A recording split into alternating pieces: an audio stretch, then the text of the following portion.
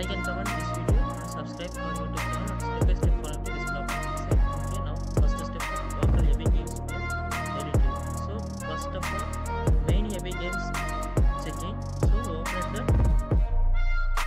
Windows button plus X button click here. Then select the menu bar. After that, run button click here. Then type then percentage local app data percentage slash 49 type it. Then OK button click here.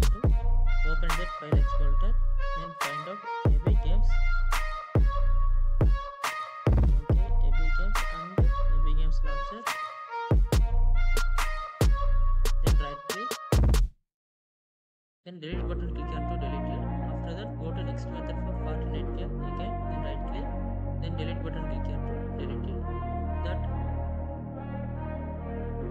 three files deleted three files deleted then close it close the to back after that go to next method for repair the ab games so open the search bar control panel type it and open it uninstall your program click here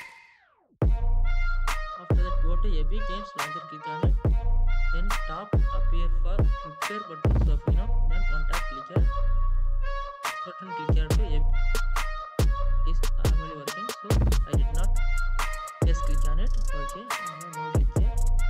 so you have the repair button click to repair it. Ab launcher.